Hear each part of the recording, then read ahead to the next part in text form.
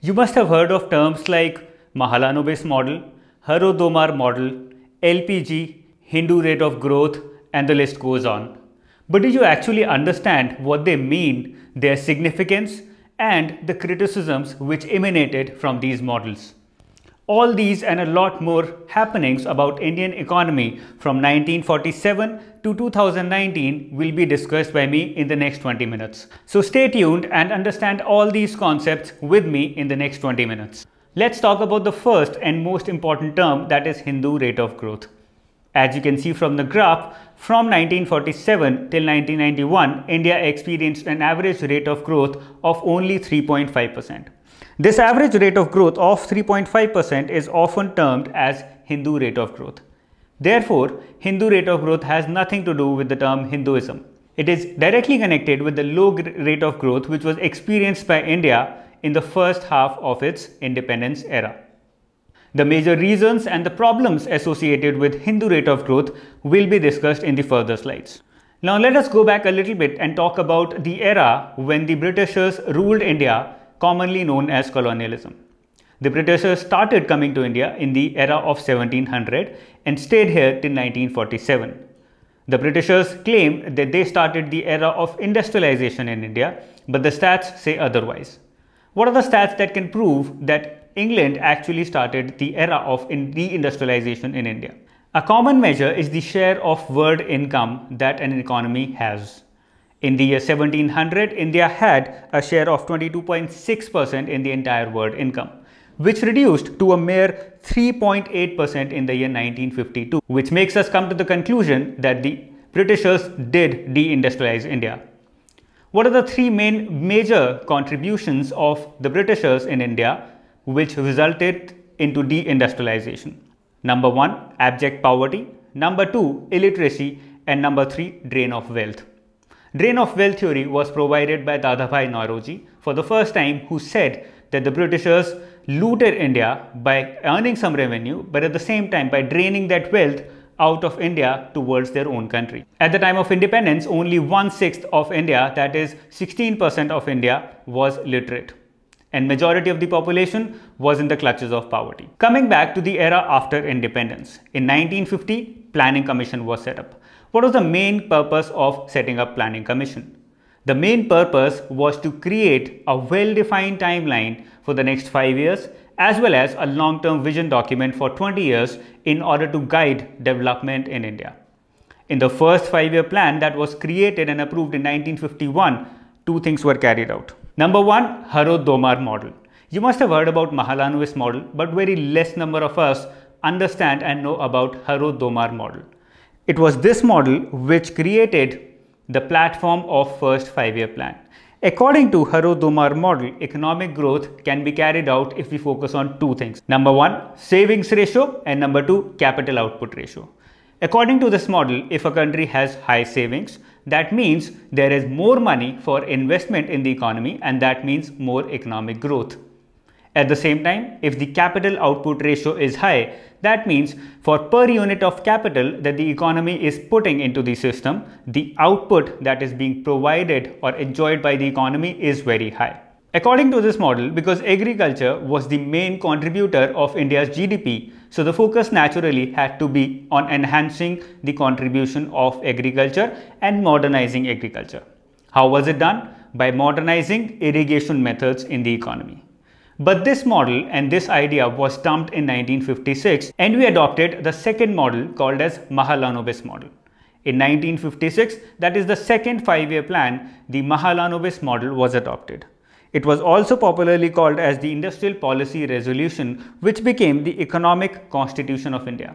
So a question that can be asked is, which of the models is called as the Economic Constitution of India? What are the contributions of Harrod-Domar model? What are the contributions of Mahalanobis model? What is Hindu rate of growth? What are the negative contributions of Hindu rate of growth? All these are list of questions that can be asked from you in the examination. The Mahalanobis model went in a direction totally opposite to the Harrod-Domar model. The model said that if we want to achieve growth, we have to industrialize. And because India is a poor country, that means the private sector does not have money. So how does the country invest in industrialization? Well, through the government. And that was called as fiscal deficit. So the government started borrowing at a very high rate and investing that money in capitalized industry in order to create an inventory of heavy industries and capital goods. According to the Mahalanobis model, if the country invests in capital goods, that investment will automatically result into investment in consumer goods. Let us take an example to understand this. For example, the country starts by investing in bread making industry. What will happen? The country will start investing in industries which create bread and that bread is going to be consumed by the economy, by the people in the economy like you and me. But instead, what if the country starts investing in industries which can create bread? So instead of creating an industry, creating a company which creates bread, you start investing in the technology of creation of bread. That will incentivize the private sector to set up companies to create bread industries or bread companies in the future and that will automatically result in more growth in the economy. So Mahalanobis said instead of investing in consumer good industries like bread, you invest in capital good industries like technology needed for bread. Although the Mahalanobis model contributed a lot towards growth of India, but there were some problems attached with this model. The first and major problem was that it used government funds in order to finance this. What this resulted in is heavy fiscal deficit for the government, heavy borrowings for the government. The second major bad contribution was license Raj. Mahalanobis model divided industries in India into three groups. The first group was basic and strategic importance industries. The second was industries which were to be partially owned by state, not so important, but at the same time they required heavy funds. Therefore, the private sector could not be expected to invest in them. And the third were the industries which were left to the private sector and this included agriculture. Now what were the implications of this? Number one, agriculture stopped growing. Number two, due to heavy dependence on licenses being provided to be a part of these three groups resulted in red tapeism in the economy and that slowed the growth of the economy. I hope you have now understood what Mahalanobis model was. As a part of this model, Jawaharlal Nehru gave the term of modern temples. What exactly is the meaning of modern temples? Let's understand very briefly. Jawaharlal Nehru said that instead of investing in temples or the conventional traditional temples that we have, we should invest in industries which can create growth and development for us and therefore can be termed as temples. Projects like hydroelectric dams, steel plants, IITs and atomic energy institutes as well as units were a part of modern temples, where I told you that the agriculture took a back seat under the Mahalanobis model. What happened in 1964 and how did Green Revolution start in India? After the death or demise of Jawaharlal Nehru in the year 1964, Lal Bahadur Shastri recreated the entire development model that we followed. He did three major things. Number one, he gave importance to the private enterprises and foreign investment, thereby opening up of Indian economy.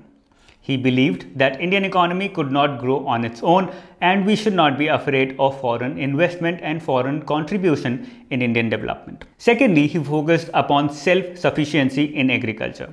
Before 1964, we had been importing majority of our food needs.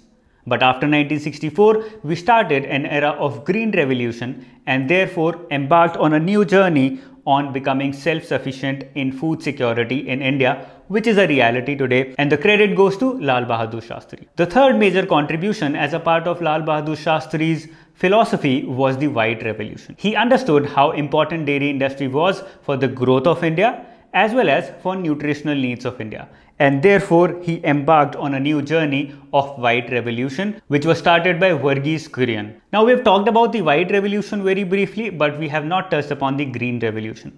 The green revolution was started by two major scientists in India, the Mexican Norman Borlaug and the Indian M.S. Swaminathan, who were given a push by Lal Bahadur Shastri. The focus of agriculture at that point of time was to be self-sufficient. But the focus today is on sustainability. And therefore, according to MS Swaminathan, we have to move from green revolution towards evergreen revolution which means sustainability in agriculture. After the demise of Lal Bahadur Shastri, Indira Gandhi became the Prime Minister of India and she took two major steps which were loved as well as hated by Indians. The first was bank nationalization and the second was rupee devaluation. Well, the purpose of rupee devaluation was to expand exports of India because when the rupee is devaluated, exports become cheaper and imports become costlier. But that did not happen. Why? Because industrialization did not happen in India, specifically in consumer goods. Therefore, rupee devaluation resulted in inflation in India. The other step was bank nationalization. It was a good step and the main purposes were to increase financial savings in India and to spread banking into rural areas. However, it came with a problem. Crony capitalism. Crony capitalism means when the capitalist industries or the private sector colludes with the government and harms the economy. Bank nationalization was partially rolled back in 1991 and we will be talking about it, so keep watching the entire lesson. From 1965 to 1975, Indira Gandhi ruled as the Prime Minister of India. From 1975 to 1977, we experienced emergency in India. A new government in power in 1977. The Janata Party won the elections and came into power and the first and most important step that they took which also resulted in an economic shock for India was demonetization 1.0. Under this step, 1000, 5000 and 10,000 rupee notes were demonetized or ruled out of the system in the name of corruption. At the same time, some bad steps were also taken, one of which was to ask the foreign investments to leave the country because some heavy regulations were put on them. As a result, companies like IBM and Coca-Cola left the country. Steps like legalization of strikes and trade unions were taken in the name of welfare, but they hurt the economy really bad. And that resulted in the ousting of the Janata Party after another elections in the year 1980. Indira Gandhi came back to power in the year 1980 and she took a lot of steps in order to reform the economy. These steps were number one, the license Raj was to be removed from the economy because corruption had reached very high levels. Number two, import duties were to be reduced so that foreign investors could come and invest in India. Number three, fiscal reforms were long due and the government was under the pressure of large borrowings. Number four, price controls were to be removed so that competition could take place in the economy, which would result in economic growth. Let's assume that today the government says that bread can be sold only for rupees 20 and not higher than that. What will be the result? Majority of the companies would either go out of business or would stop making bread because breads are priced at 30 to 50 rupees. Result, economic growth would be hurt. We often compare ourselves with China, but do you understand why Chinese economy is four times of Indian economy? Has it always been like this? Let us understand. In the year 1960, Chinese GDP was 128 billion US dollars. Indian GDP at that time was 148 billion dollars. That means higher than Chinese GDP. In the year 1978, Chinese GDP became marginally higher than Indian economy at 293.6 billion and Indian GDP was at 293.2 billion US dollars. This gap has widened since then and in the year 2018, we lie at 2.85 trillion US dollars whereas Chinese GDP stands at 10.8 trillion US dollars. Let's now understand the reforms which started in India from Rajiv Gandhi's time in 1984. He made three major contributions in the reforms in Indian economy. Number one, IT revolution. Number two, telecom revolution. And number three, the reduction in direct taxes. All this resulted in more growth as well as more income in the hands of the people, which resulted in more consumption more savings as well as more investment. The Bhopal gas tragedy struck us in 1984 and that made us realize the importance of regulation in India. The basic difference between regulation and control is that regulation focuses on promoting the industries whereas control focuses on suppressing the industries.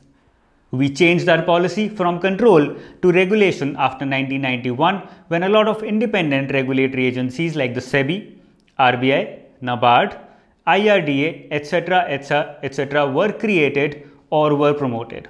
What were the major reasons of India's crisis in 1991? One of the big reasons was the way government was spending money. Where was the government spending its money? Well, instead of spending in capital goods, which was embarked upon and focused upon by the Mahalanobis model, India was investing in revenue expenditures. For example, the cost of borrowings was so high that majority of our earnings were going into interest costs of those borrowings. We were investing a lot in defense because of our porous borders. Areas like pensions and subsidies, which included food, fertilizer, and fuel subsidies, were also taking a lot of these revenues. Finally, the government had created a set of PSUs under Mahalanobis model, but majority of these PSUs were facing losses because of red tapeism and high corruption. Instead of selling off these PSUs or disinvesting these PSUs, the government was carrying on these PSUs over its shoulders, and they were incurring losses. So what were the immediate reasons for the crisis in 1991?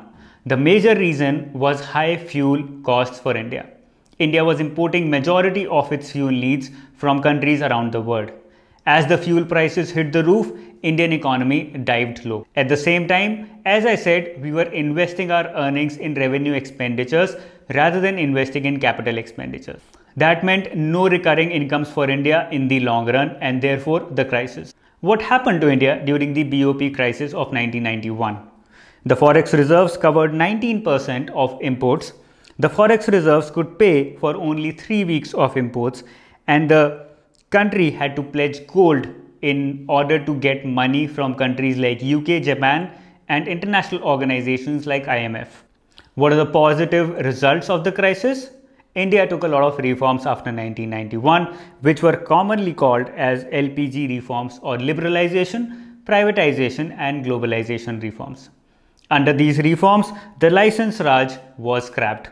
Under these reforms, a lot of institutions of capital markets in India like SEBI, NSE, BSE were created or strengthened. Under these reforms, nationalization took a backseat and private banks were given licenses. And under these reforms, current account convertibility became a reality. Which means you could export and import without any government intervention. What were the other major impacts of the crisis and the reforms? Number one, the PSUs started a, an era of disinvestment. Number two, the banks got privatized. Number three, the government started downsizing and it moved out from industries where it was not required. Number four, the license Raj took an end. Number five, the direct taxes reduced and that increased economic growth as well as activity in the economy. Number six, capital markets underwent a lot of reforms. And number seven, independent institutions were created which resulted in less corruption and more efficiency in the economy. What are the major institutional and structural reforms which India is still undergoing? GST, IBC, Niti Aayog. These are the three main contributions of the Modi government from 2014 to 2019. Under GST, the indirect tax structure of India has completely been overhauled.